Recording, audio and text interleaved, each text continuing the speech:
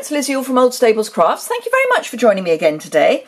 Today I have got this project for you. I am thinking of this as a more masculine project, uh, but you could change the colours and make it more feminine if you wished. I am using one of the Sale-a-Bration stamps because it's sale-a-bration time.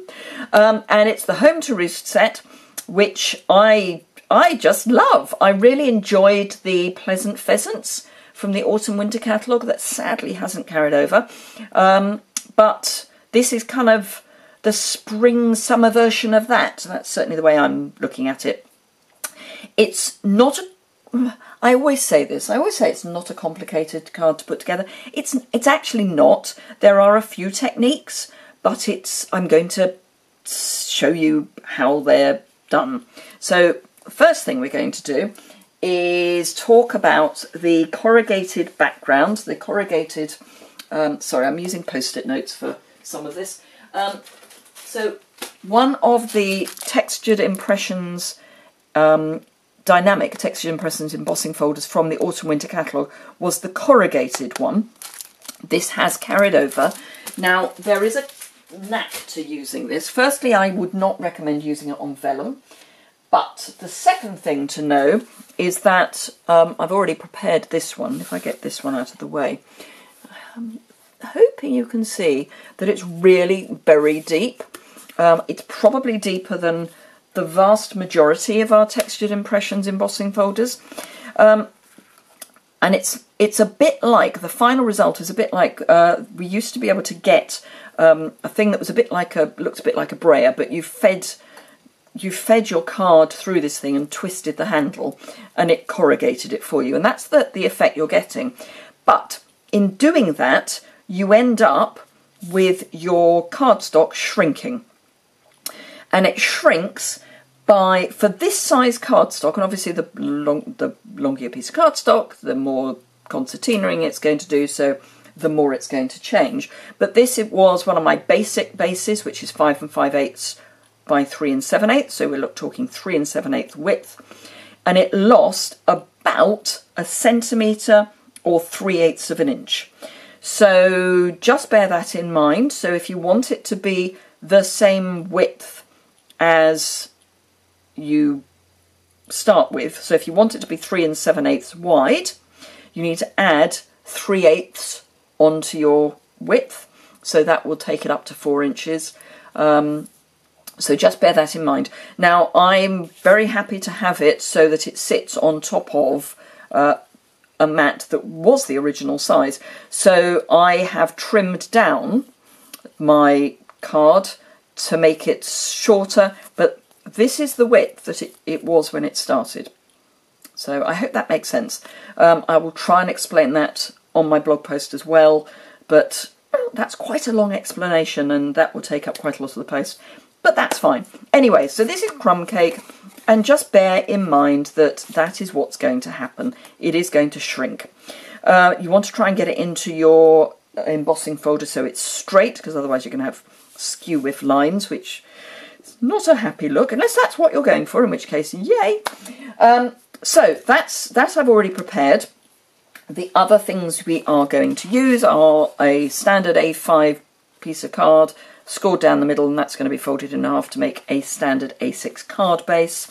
I have a piece of shaded spruce that is cut at 3 and 7 eighths by 5 and 5 eighths. I've got a piece of shaded spruce that is the largest of the layered squares, but you could cut this by hand and it is roughly two and three quarters square and it's so that it fits with the largest of the stitched shape framelets in the square. Um, so as I say, you can you could cut it manually at two and three quarter inches or thereabouts. Um, this is fractionally over, but it's good as. Um, but that gets you a nice a nice border. And then this is obviously just plain whisper white. So the first thing I am going to do is stamp. So I've got I've got the one I'm using as my guide ready. I've already mounted, and these are cling mount, just as the new Spring Summer catalogue have gone cling mount. So anything that is red rubber in Sale-a-Bration is cling mount. So there is now only the choice of photopolymer, which are the clear stamps, or cling, which are the red rubber, other than in the annual catalogue, which does still have the clear mount and the uh, wood mount, but they will. So I'm going to stamp this towards the bottom right hand corner of my piece of Whisper White. Just make sure that's well stamped, which it is. That's all I need that for. So I'll pop him, oh, pop that there, pop him there, out of the way. And then uh, the other ones that we're going to be using are the kind of corn wheat in the background and Just a Note. And I'm actually going to stamp the Just a Note first, purely because I'm going to put a mask over this and I want to make sure that it's fully dry first. The only other ink pad we are using is Crumb Cake, so it goes with the Crumb Cake base or matte and this I'm just going to stamp. This is just a slither off cut and this is an off cut that I get from uh, when I do my card bases or my mats. So that's just a note. Um, and then we're going to trim that down just a fraction at this end. And I'm just doing it by eye with my snips. And then I'm using as ribbon um, this comes in a duo. This is shaded spruce, and it comes in a duo with um, I think it's petal pink, powder pink. Let's check.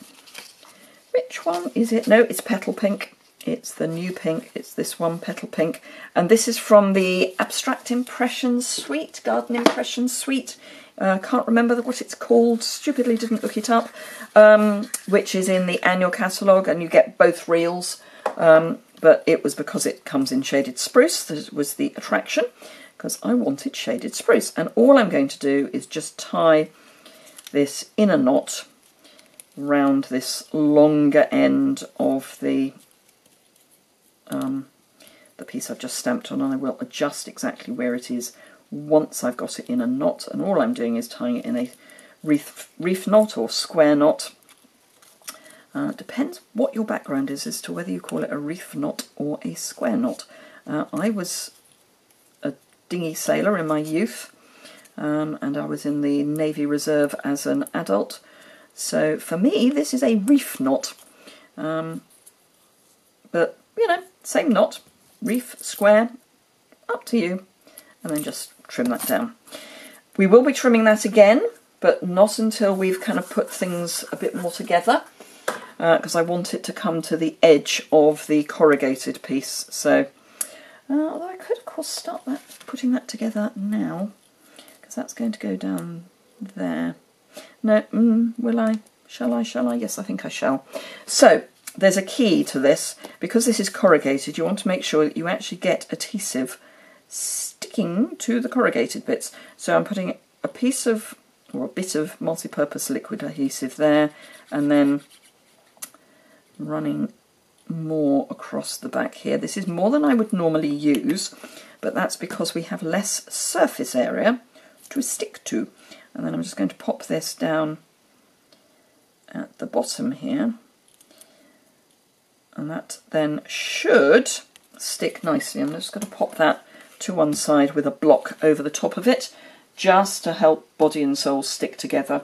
Um, it just helps everything stick down. Right, so back to finishing this off. Um, as I say, I'm using a couple of post-it notes. One just to mask at the bottom here, because I don't really want... Mm, yeah, no, that's about right.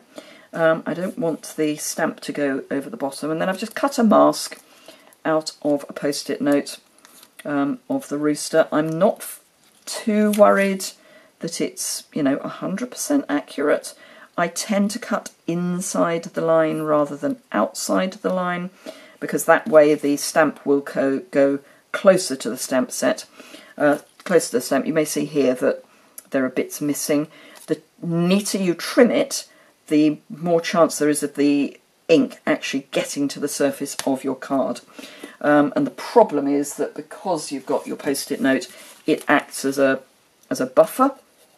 Um, so it doesn't it doesn't get the, the stamp can't get completely flat. So we're inking up and stamping off and then just come in so that you can see where your stamp's going. And then press as hard as you can, particularly where the uh, rooster is so that you can get this as, as close to the card as you possibly can.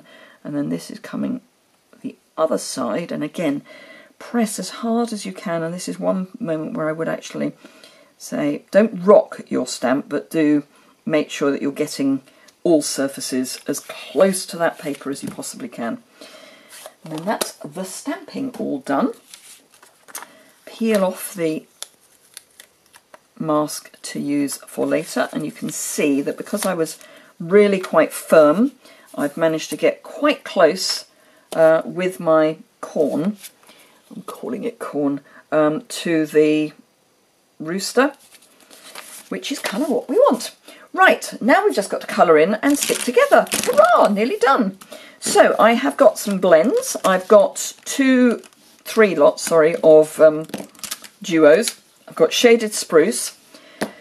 Um, oh, my brain's gone. Cajun Craze and Soft Suede. So it's a nice bright cockerel. Um, I'm going to start by putting in a bit of Shaded Spruce on his tail. Uh, I'm not going to go mad, but just a bit of the dark. I don't mind if I come outside the lines because this is a very loose sketch of a cockerel. And then with the brush end, having used the bullet end for the dark, I'm coming in with the light. And I just find that that gets a, a better kind of, well, a better brush. Um, and again, as this is a sketch, I don't mind if I go outside the lines, but it just softens the softens the whole effect a bit. Just pop some in there. And it also means you can kind of join up where the stamping didn't necessarily join up. Um, it just gives you that opportunity to fill in the gap. Right, so let's take the dark Cajun Craze, and I'm just going to scribble and I really do mean scribble along the bottom there. And then fill in across the back. And then this area here I just want a bit um, a bit of dark. And then the comb. And this bit here I'm going to leave the eye white because they tend to be, I'm told. I don't know. Uh, actually, I want that to be, that's better. And then again, coming with the light, and I'm using the brush end, just fill in and overlap a bit where you've taken the dark, just to soften the edges a wee bit. You don't want to completely obliterate them, but it gets a smoother, um, a smoother finish. And then dark soft suede, and again I'm going to scribble. I'm not worried if I go over the Cajun Craze. This is a loose drawing. So just put a shadow in there. And then again, coming in with the brush end of my light, I'll just fill that in. And I've just realised the bit that I missed on my original, which is this bit, which I just want just want him to be treading on something. So we'll just add that in. And again we can join up the bits that might might have missed. So here we're not quite joined up and now we are. So that's all of that done and then all we've got to do is stick the whole thing together. So let's start with folding our card and I always fold towards the mountain of the crease. I do that with both um, Whisper White Very Vanilla and the coloured cardstock. There is a theory that you should only do it on the um, Whisper White and the Very Vanilla. I find that it works perfectly well on all of them. And then I'm just adding a bit of liquid adhesive on the back there. Pop that down so that we're sort of square. There we go. Then a bit of a very small amount of liquid adhesive on the back of this, only because Whisper White and the multi-purpose liquid adhesive, if you get too carried away, they're not great chums.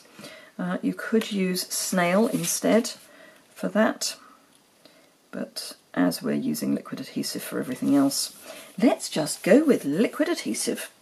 Right, bring in our piece of crumb cake, and from the back, just trim off the edge of the just a note and then we know that's going to be straight. And again we need to make sure that the raised portions have got glue. So I'm actually going to be quite careful about adding glue down the edges because that way we know that we've got glue where we really really need it which is right on the edge the rest of it I can just rub across and it's basically only going to pick up where there is a raised area anyway, which is fine. And then just pop that into the middle of our shaded spruce bit. Because it's liquid adhesive, we do have a little bit of wiggle room. And then same again, let's just make sure that we've got a reasonable amount on the back. And again this is much more than I would usually use but because we need to hit the raised areas I am being a little more generous and then we'll pop that kind of square at the top and there we go. Now you may want, just to make absolutely perfectly sure, to do that with your card, just to make sure that it's hit the corrugated bit. But um, for the moment, there you are. That is our very much, I would say, a more masculine look. Um, I hope you found that enjoyable. If you did, please give it a thumbs up. Um, if you would like any sale-a-bration items, remember they are free you just have to spend £45 or more over in my online store, and for every £45 you spend, you will be allowed to, or encouraged indeed, to choose a sale-a-bration item. The sale-a-bration item uh, catalogue is over on my website, which is linked immediately below here in the description bar. Um, if you click on that link to the associated blog post, that will take you to this post. Um, and then from there you can find the catalogue tab and there you will find the annual catalogue, the spring, summer and the sale-a-bration catalogues um, and you can browse through those in PDF form and you can also order your own um, paper copy just by completing the request form. Um, if you don't work with a demonstrator in the UK at the moment, then please do do that. Uh, and I'll be very happy to send you a copy free. Um, and I work on the premise that if you've if you've ordered your catalogue from me, you may well order from me as well. So, you know, it's it's my way of encouraging you to shop with me. Um, if you, I should say, when you shop with me, do use the host code, which is below and over on the blog post. Um, if your order is over £150, don't. But if it's under £150, if you use the host code, then I combine all of the orders that use that host code over the course of a month and then all the host rewards that are earned across those orders I will divide up between everybody who had ordered and then uh, everyone who has ordered, no matter how large or small your order, will get something that I have selected that I then send out to you about the middle of the following month. Whether you use the host code or not, you will always get a handmade card from me. You will always get a handmade gift. Um, and for every £30 you spend using the host code, you also get a Sunflower Reward, which you can save up and then trade in for free product. All the details of that are over on my blog. Thank you very much indeed for watching. I hope to see you again very soon. Bye!